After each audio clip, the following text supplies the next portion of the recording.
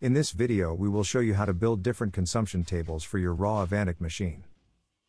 Raw Avantic is available in several different models, but the tables are structured in a similar way. Even if you don't have an Avantic machine, this table will probably work for your machine as well. A consumption table usually consists of two layers. A lower layer to lock the machine at a perfect angle and to support the upper table. The upper table is the actual wear surface that is replaced when needed. The bottom layer of an Avantic machine consists of 12mm MDF or Valchromat, which is a more durable material. Between the wear surface there are aluminum rails with grooves, to lock the clamps in a simple way. Start by cutting out a 12mm board in any material. On larger machines, you may need to splice the boards, but it doesn't matter. Splitting the bottom layer does not affect the top layer at all. Once you have the lower board in place, Make sure that the machine is completely square before attaching the board. To make the machine square, you can cross measure. The measurements from two reference points must be exact and within a millimeter. But for cross measurement to work, the machine needs to be the same length and width in all directions.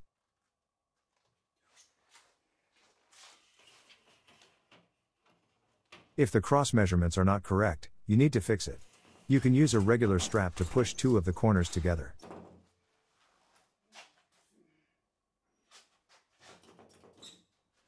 When the machine is completely square, you screw the board directly into the aluminum profiles underneath, then the machine is locked in a perfect square.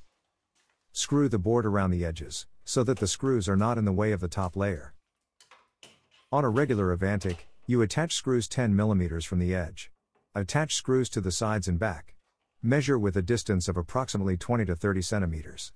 Use 30 to 35 mm self drilling screws for that.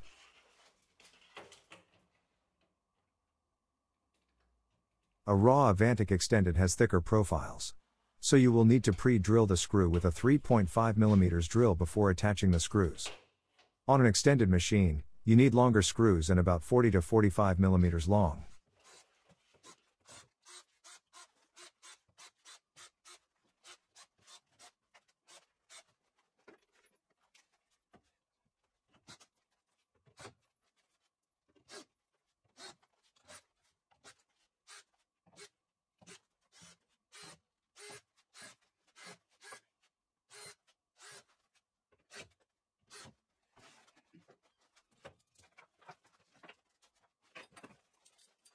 You can use the table as it is now and attach your pieces with screws or drill holes for your clamps.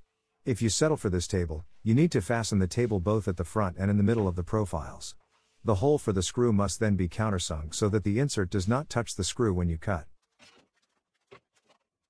But if you want to build on the table with another layer that has both rails and a replaceable consumption table, you can follow these steps. If you bought rails and everything needed to attach the parts, you can place everything on the table. You cut out the consumption table using the files available on our website. Choose your machine and cut them directly on the first surface that we attached earlier. The consumption table is screwed through the table and into the profiles below. The consumable table is in two sections so you don't have to replace the entire board when it wears. We have designed the table so that the first rail starts about 4 cm from the left edge, after that, we put a rail, and then a strip of consumable table, and so on. I have cut out four spacers. I press the first rail against the spacer and then the rest of the rails, as well as the consumable table. With a 6mm drill, I drill through the hole on the rail, and straight through the table.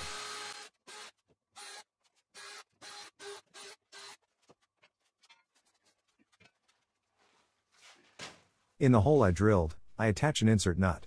I use a nut that has external threads that I screw down into the holes I drilled.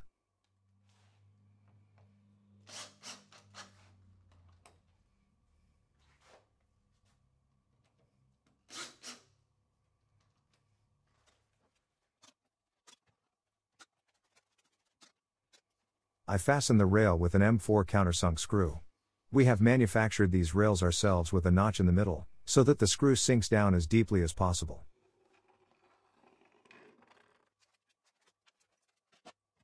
You can also use long screws that go through the table, then you can attach the rail from below for extra strength.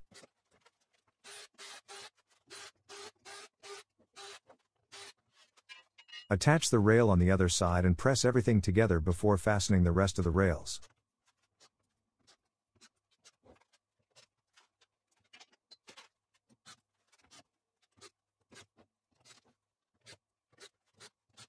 Now you can attach the rest of the rails.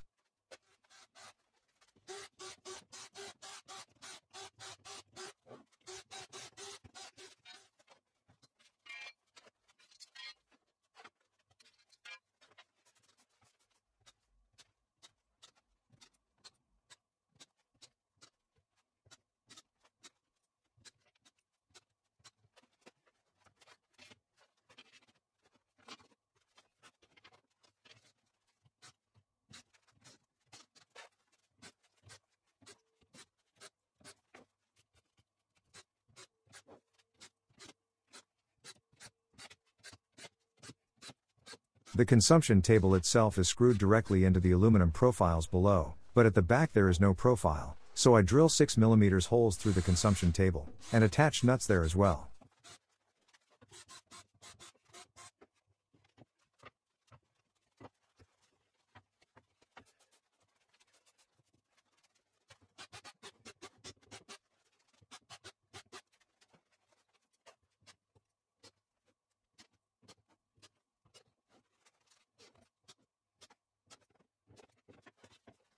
Now you can attach the consumption table itself. Start from the back.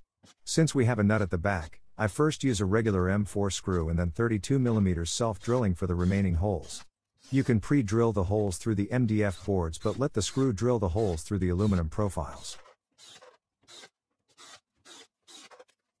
If you have an extended machine, you must pre-drill the aluminum profiles. Use a 3.5mm drill and longer screws, usually 40 to 45mm long. When the old table wears out, you can easily replace it and use the same screw.